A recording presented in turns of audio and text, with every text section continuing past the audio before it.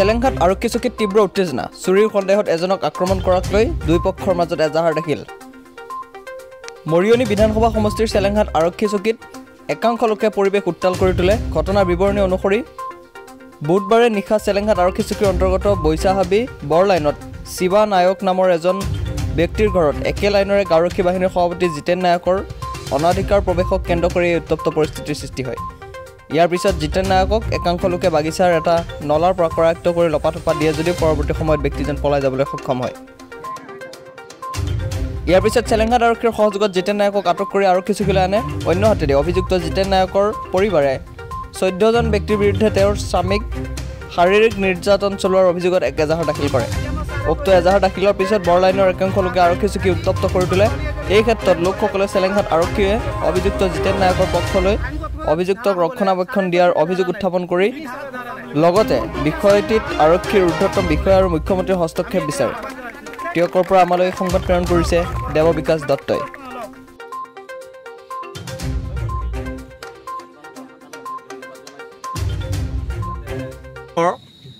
ঘৰত জিতেন নায়ক পিতা হলধৰ নায়ক স্বৰ্গীয়। জিতেন নায়ক শিৱা নায়কৰ ঘৰত প্ৰথম চোতালৰ পৰা দ্বিতীয় দৰ্জা আৰু তৃতীয় দৰ্জালৈকে সোমালে। এই মানুহজন শুই আছিলে সাৰ পাই যেতিয়া কোনো হৈ ডকিয়ালে তেতিয়া তেওঁ উঠি দিয়াৰ লগে লগে তেওঁ পলাই দিবলৈ ধৰিলে। এওঁ চোৰ চোৰ বুলি চিঞৰি বাখৰ কৰাৰ লগে লগে গোটেই গাঁৱৰ মানুহ ওলাই আহিলে। এওঁ তেওঁ চোৰৰ পিছত চকু দিছে আকৌ সেইজনো পলাইছে। তো গতিকে এওঁ এজন বাথৰুমৰ মানুহ ঘৰৰ বাথৰুমত সোমাই দিলে। তেওঁ আহি পিনি দেখিছে যে মানুহজন কোনফালে গ'ল। গোটেই গাঁৱৰ মানুহ ওলাই আহিলে চোৰ বা সোপা ধৰা ওলাইছে বুলি। তো গতিকে তাৰ পিছত দেখিলে যে মহিলাগৰাকী যিজনৰ ঘৰত সোমাইছে সেইজনৰ মহিলাগৰাকী ভাবিলে যে মই পেচাব কৰোঁ। তেওঁ বাথৰুমত যে এই মানুহজন প্লাষ্টিক উৰি পিনি তাত শুই আছে তেওঁ দেখিলে যে কোন হয় এইটো? চিঞৰ বাখৰ লগালে ইয়াত কোনোবা এটা শুই আছে বুলি চিঞৰ বাখৰ লগে লগে তাৰ পৰা উঠি পিনি যেতিয়া পলাবলৈ ধৰিলে মানুহৰ ঘৰ বাৰী দি সোমাবলৈ যাওঁতে তাতো তেওঁ মাৰপিট পাইছে মানে মহিলাবিলাক মাৰপিট কৰিছে তেওঁৰ ওপৰত। তাৰপিছত এটা বাগান বাগিচা নলা আছে নৰ্দমা। পাঁচ ফুট মানে ছয় সাত ফুট মানে দ আৰু পাঁচ ফুটমান বহল। তো গতিকে তাক চেকুৰি গ'ল গোটেই ৰাইজে যেতিয়া চেকুৰি গ'ল সি পলাত যাব পৰা নাই তাৰপিছত তেওঁ ধৰা পৰি গ'ল। গোটেই ৰাইজে আগচি পিনি ধৰিলে তাত মাৰপিটো হৈছে অলপ দুই এক লাঠি মাৰিছে তাক।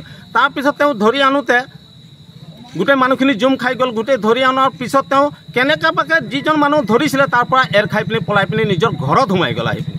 তাৰপৰা এশ মিটাৰ ডেৰশ মিটাৰ আঁতৰৰ পৰা এই ঘটনাটো। তাৰ ঘৰতো সোমাই গ'ল। আৰু শিৱা নায়কৰ ঘৰৰ পৰা য'ত মানে তেওঁ ধৰা পৰিলে তাত নহ'লেও তিনিশ মিটাৰ হ'ব। তো গতিকে সেই মানুহজনক কাইলৈ প্ৰশাসনক গোটেই ৰাইজে গুচি আহিলে তাৰ ঘৰত যেতিয়া সি নিজে জাঠি জোং লৈ পিনি ওলাব ধৰিলে মানুহখিনি ওলাই পিনি তেওঁক লৈ আহিব বিচাৰিছিলে। তো শেষত ৰাইজে ক'লে যেন আমি প্ৰশাসন আছে প্ৰশাসনৰ ওচৰত যাওঁ। প্ৰশাসনৰ ওচৰত আহি পিনি তেখেতে প্ৰশাসনক লৈ পিনি তেখেতক ওলাই পিনি ওলোৱাৰ ব্যৱস্থা লৈ আহিলে আমাৰ আউটপোষ্টলৈ তাৰপিছত তেওঁ সেই কথাষাৰ গৈ পিনি আমাৰ টিয়ক হস্পিটেললৈ পালে। তাৰপাছত টিয়ক থানাত ৰাখিলে তেওঁক আজিৰ দিনত দুটা বজাত এখেতসকলকো মাতিলে শিৱা নায়কক শিৱা নায়কক মতাৰ পিছত তেওঁ ক'লে যে ঠিক আছে তুমি এতিয়া কি কৰিব বিচাৰিছা? তেওঁ ক'লে যে মই কোনো ধৰণৰ মাইনেজ কৰিব বিচৰা নাই কোনো ধৰণৰ আলোচনা আলোচনা কৰিব বিচৰা নাই। মোৰ ঘৰত কি কাৰণত সোমাব বিচাৰিছিলে মোৰ তিনি নম্বৰ তেতিয়া দৰ্জা চোতালৰ দৰ্জা এক নম্বৰ দুই নম্বৰ দুটা বাৰাণ্ডা আৰু এটা ঘৰৰ দৰ্জালৈকে সোমালে। সি কি কাৰণত সোমাইছিলে মোক সেই কথাটো লাগে। কালি নটা বজাত ভাচান কৰি আহি আমাৰ ভাচান ই কৰি আহি মই পেণ্ট চাৰ্ট খুলি মই ওলাই গ'লোঁ মানে। ওলাই গ'লোঁ ৰাস্তাত ৰাস্তা পিনে ওলাই গ'লোঁ। ৰাস্তা পিনে ওলাই পেলাই আমাৰ ডাঙৰ ল'ৰা এটা আছে পানী চানী সেইপিনে হুলস্থুল হৈ আছিলে। মই মই ভাবিলোঁ আমাৰ ল'ৰাটোক চাবলৈ আছে নেকি তাত? সেইপিনে যোৱাত সেইপিনে চব পানী খাই আছে ল'ৰাবিলাক। মই কাৰ ঘৰতো সোমোৱা নাই। সিহঁতি এনে এনে কৈছে যে দৰ্জা খুলি সোমাই পিনি তাৰ মাইকী মানুহ নিজে ক'ব। আৰু মোক কোনদিনাও যোৱা নাই। এনে এনে সিহঁতি আমি লাগিলে সিহঁতক মিলাইছিলোঁ। তাৰ ঘৰত অন্য ল'ৰা এটা তাৰ মাইকী মানুহৰ লগত সম্বন্ধ আছে। আৰু এয়া এইবিলাক চব ৰঘু কন্ধ তাৰ ল'ৰাটো সমীৰণ কন্ধ এওঁলোকে মোৰ ওপৰত বিৰোধী হিচাপত ইহঁত এই ক্লেইমটো কৰিছে।